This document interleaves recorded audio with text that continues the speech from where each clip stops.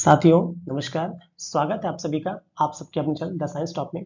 आज हम the science top में अपनी हिस्ट्री सीरीज़ में एक नया टॉपिक लेके आए हैं, जिसका नाम हमारा वैदिक संस्कृति।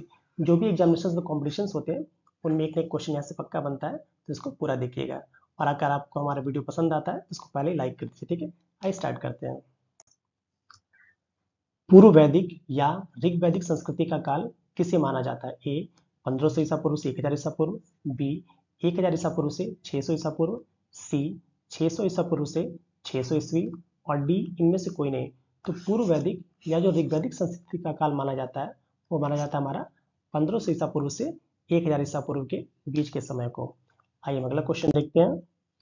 आर्य शब्द का शाब्दिक अर्थ है ए वीर योद्धा बी, यज्ञकर्ता या पुरोहित, सी, श्रेष्ठ या कुलीन और डी, विद्वान। तो जो आर्य शब्द का जो शाब्दिक अर्थ है, हमारा क्या है? श्रेष्ठ या कुलीन। आइए अगला क्वेश्चन देखते हैं। इनमें से किस फ़सल का ज्ञान वैदिक काल के लोगों को नहीं था? ए जौ बी गेहूँ सी चावल और डी तंबाकू। तो इसका सही आंसर हमारा हो जाएगा तंबाकू, क्योंकि तंबाकू के साक्ष्य में नहीं मिलते हैं मतलब उनके ग्रंथों में। तो मान सकते हैं कि इन्हें तंबाकू का ज्ञान नहीं था। आइए अगला क्वेश्चन देखते हैं।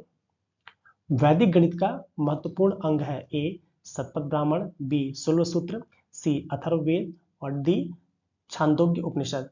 तो जो वैदिक गणित है, इसका जो सबसे महत्वपूर्ण सूत्र माना जाता है, वो आपका माना जाता है सोलह सूत्र को। आइए अगला क्वेश्चन देखते हैं।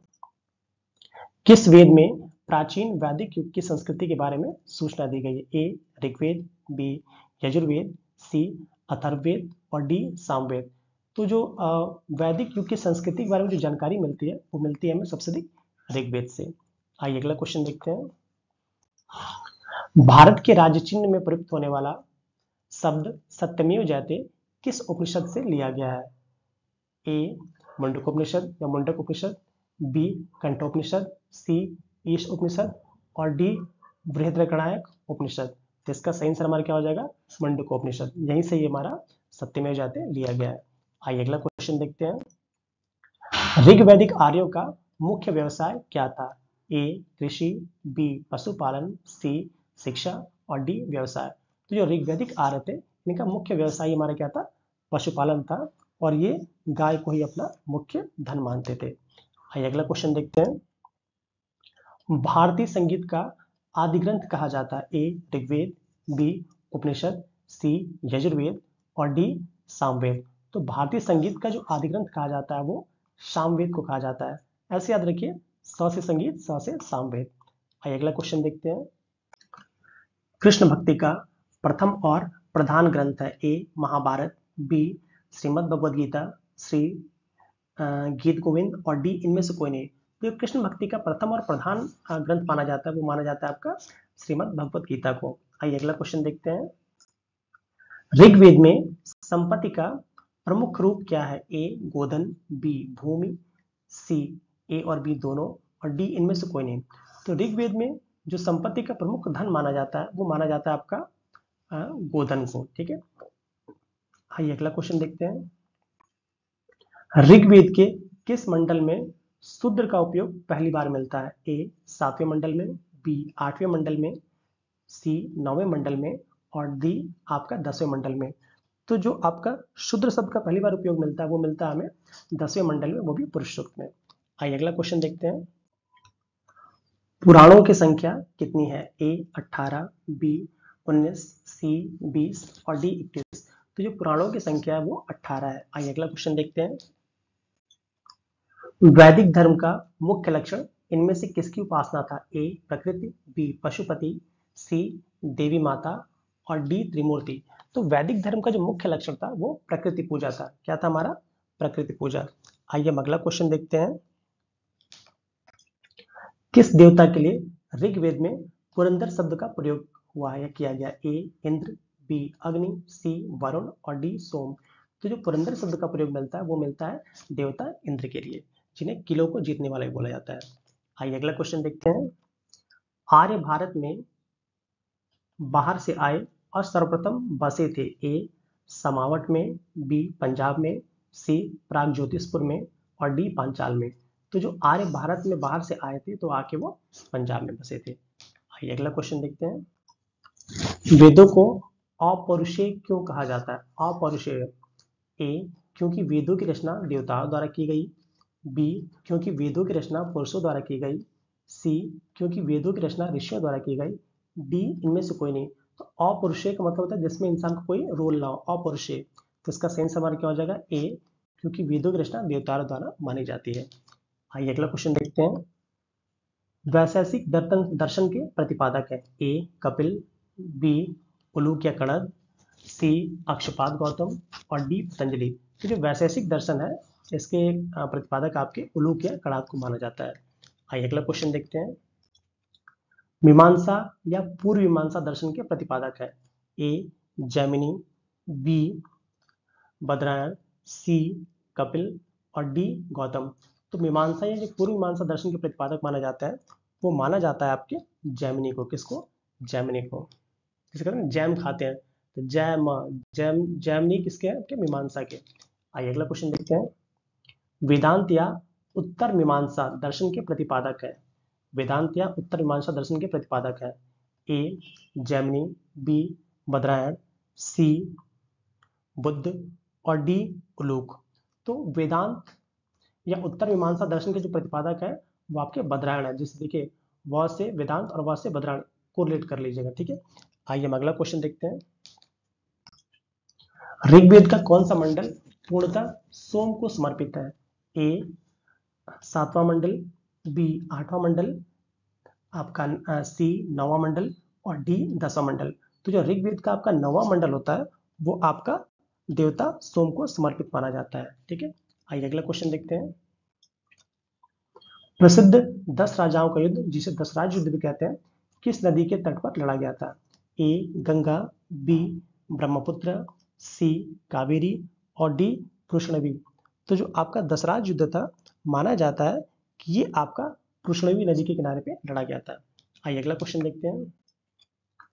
गायत्री मंत्र, देवी सवित्र को संबोधित है। किस पुस्तक में मिलता है? A, Rigveda, B, Yajurveda, C, Upanishad और डी भगवत गीता। तो जो आपका गायत्री मंत्र है, ये आपका ऋग्वेद में मिलता है। आइए अगला क्वेश्चन देखते हैं। न्याय दर्शन को प्रचारित किया था ए, चरवाक ने, बी, गौतम ने, सी, कपिल ने और डी, आपका जैमनी ने। तो जो न्याय दर्शन की बात की जाती है तो न्याय दर्शन दिया था हमारे महर्षि गौतम ने। किसने दिया था आपका? महर्षि गौतम ने। आइए अगला क्वेश्चन देखते हैं।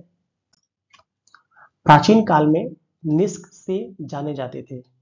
ए, स्वर्ण आभूषण, बी, गाय, सी, तांबे के सिक्के और डी, चांदी के सिक्के। तो निष्क कहा जाता था आपका स्वर्ण के आभूषणों को। आइए अगला क्वेश्चन देखते हैं। योग दर्शन के प्रतिपादक थे। ये तो कर ही लेंगे आप। A, Patanjali, B, Gautam, C, Jaimini और डी, शंकराचार्य। तो योग दर्शन के प्रतिपादक महर्षि पतंजलि माने जाते हैं। आइए अगला क्वेश्चन देखते हैं। उपनिषद पुस्तकें हैं। ए, धर्म पर, बी, योग पर, सी, विधि पर और डी, दर्शन पर। जो उपनिषद है, वे वेदांत या दर्शन की पुस्तकें मानी जाती हैं। आइए हम अगला क्वेश्चन देखते हैं। आरंभिक वैदिक साहित्य में सर्वाधिक वर्णित नदी कौन सी है? A, Sindhu, B, Satudri, C, Saraswati और डी, गंगा। तो जो आरंभिक हमारा वैदिक साहित्य है, इसमें सिंधु नदी का उपयोग बहुत बार माना जाता था। आइए अगला क्वेश्चन देखते हैं। वैदिक नदी कुभा जिसे काबुल कहते हैं, का स्थान कहाँ निर्धारित होना चाहिए? तो कर ही लेंगे आप ऐसे, फिर भी A Afghanistan B Kashmir C चीनी तुर्किस्तान, चीन तुर्किस्तान में और डी पंजाब में। तो जो काबुल या जिसको कुंभा या कुंभ कहते हैं, ये अफ़गानिस्तान में इसका माना जाना चाहिए। आइए अगला क्वेश्चन देखते हैं। कपिल मुनि द्वारा प्रतिपादित दार्शनिक प्रणाली ए, पूर्व मीमांसा बी, सांख्य दर्शन, सी, न्याय दर्शन और डी, उत्तर मीमांसा तो याद रखिएगा कपिल मुनि। कपिल मुनि जो संबंधित है आपके सांख्य दर्शन से। ऐसे बच्चों की याद करने की ट्रिक समझ जाइएगा। कि जो कपिल शर्मा शो अगर आप देखते हैं तो हमेशा पैसों की संख्या के बारे में बात करते हैं आपके पास कितने पैसे मिलते हैं, कितना पैसा।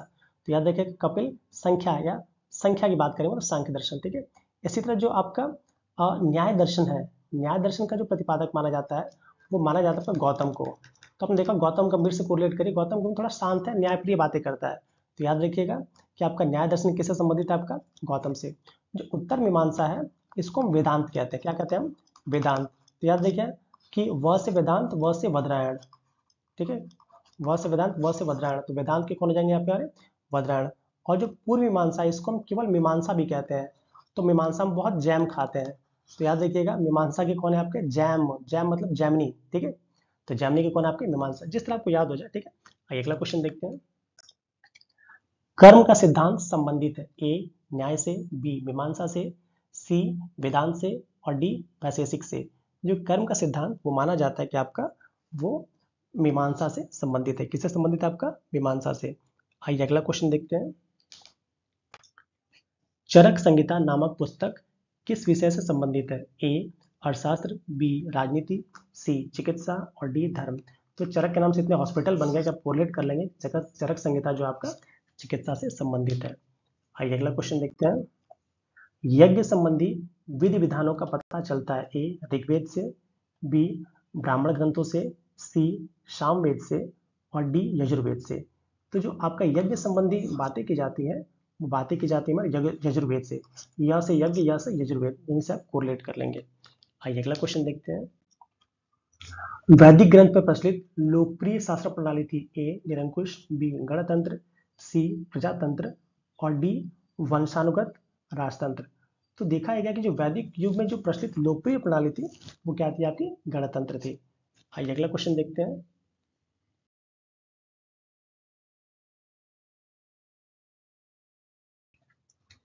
निम्नलिखित में से कौन भारतीय दर्शन की आरंभिक विचारधारा ए, सांख्य दर्शन, बी, वैशेषिक दर्शन, सी, मीमांसा और डी, योग। तो जो आपका भारतीय दर्शन की जो आरंभिक विचारधारा माना जाता है, किसको माना जाता है? सांख्य का। जिसके रचयिता कौन है आपके?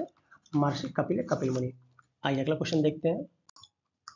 किस वेद में जादुई माया और वशीकरण या जादू टोना के बारे में मिलता है? A, Rigveda, B, Yajurveda, C, Samaveda और डी अथर्वेद तो जो आपका जादू टोना से संबंधित है, वो आपका कौन सा है? अथर्वेद याद रखिएगा, जब जादू टोना करेंगे तो अथर्वेद पैसा मिलेगा, अर्थ मिलेगा तो समझिए अथर्वेद की बात करते हैं, ठीक है?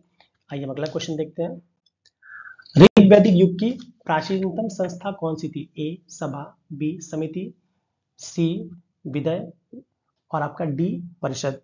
तो आपका जो वैदिक युग की जो प्रारंभिक या प्राचीनतम संस्था, उसको विदत्त बोलते थे क्या बोलते थे हम? विदत ठीक है? तो ऑप्शन हमारे क्या हो जाएगा? ऑप्शन सी बिल्कुल सही है। आइए अगला क्वेश्चन देखते हैं। वैदिक युग में यव कहा जाता था यव ए, गेहूँ, बी, चावल, सी, जौ और डी, इनमें से कोई नहीं। तो हम जौ को ही यौ कहते थे, ठीक है? आइए अगला क्वेश्चन देखते हैं। प्राचीनतम व्याकरण अष्टाध्यायी के रचनाकार है। A, Gautam, B, Kapil, C, Patanjali और डी, पाणी।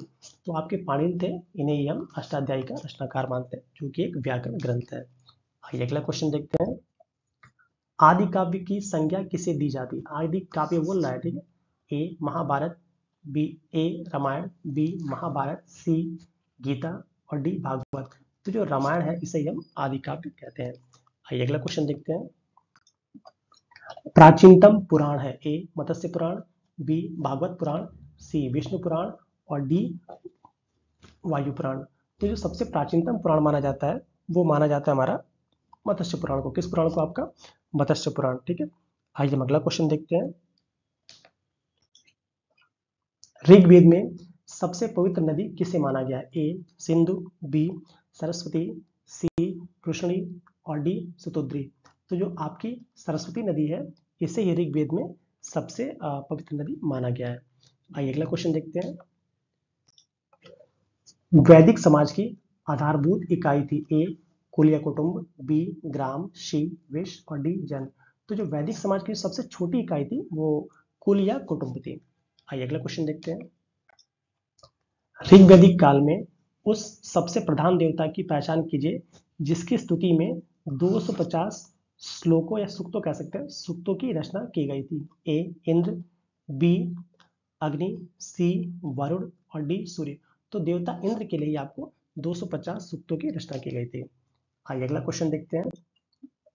किस रचना में नारी को सुरा और पासा के साथ तीसरी प्रमुख बुराइयों के रूप में शामिल किया गया ए, मैत्राणी संहिता, बी सतपथ ब्राह्मण बी सतपथ ब्राह्मण, सी, जबालोपनिषद और D, Chandogya Upanishad.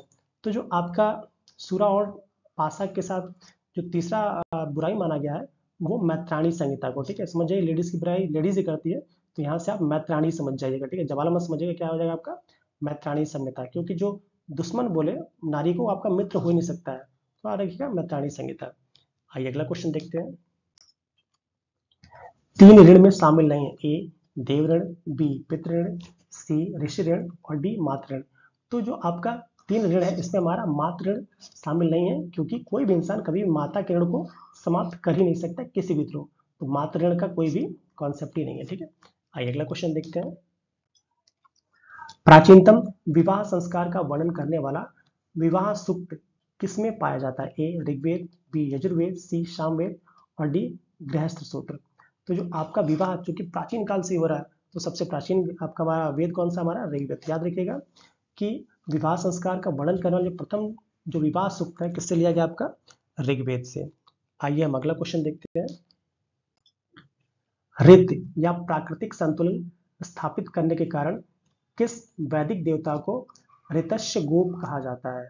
A, Indra, B, Varuna, C, Surya और डी, आपका विष्णु। ठीक है? तो माना जाता है कि जो देवता वरुण है, यही आपका क्लाइमेट को चेंज करते हैं। मतलब वरुण मतलब हवा के देवता समझ जाइए इन्हें हम ऋतस्य गोप कहेंगे। ठीक है? अगला क्वेश्चन देखते हैं। मनुस्मृति मुख्यतः संबंधित है। ए समाज व्यवस्था से बी कानून व्यवस्था से सी राज, राज्य कार्य पद्धति से और डी अर्थशास्त्र से। तो जो आपका मनुस्मृति मानी जाती है वो समाज की व्यवस्था से मानी जाती है। आइए अगला क्वेश्चन देखते हैं।